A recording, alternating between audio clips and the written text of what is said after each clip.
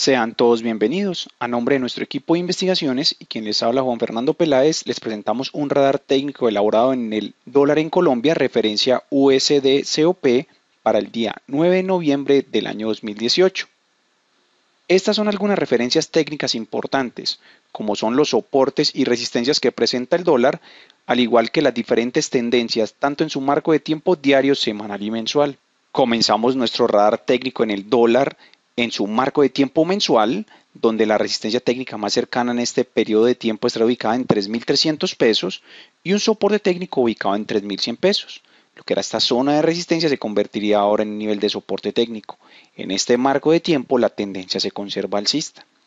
Al analizar su marco de tiempo semanal, detectamos que después de una vela con sombra de techo la semana inmediatamente anterior, la oferta está tomando nuevamente el control, el índice de fuerzas relativas se encuentra en niveles de sobrecompra y el primer soporte técnico en este periodo de tiempo está ubicado en los 3.100 pesos. Recuerden que estaría correlacionado con su marco de tiempo mensual.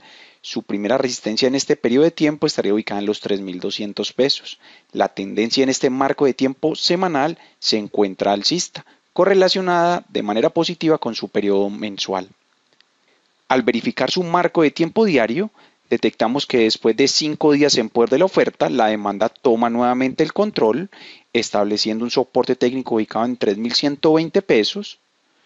En caso de ruptura de los 3.120 pesos, su siguiente zona técnica estaría ubicada en los 3.100 pesos. Recuerden que este nivel técnico estaría correlacionado con su marco de tiempo mensual y semanal. Su siguiente zona de soporte estaría ubicada en los 3.070 pesos. En cuanto a sus resistencias técnicas en este periodo de tiempo, la primera estaría ubicada en 3.220 pesos.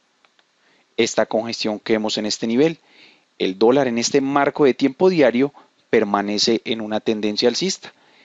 Es decir, que los tres marcos de tiempo presentan una correlación alcista. Recuerde que sus comentarios pueden ser enviados al correo electrónico info.grupovalora.com.co.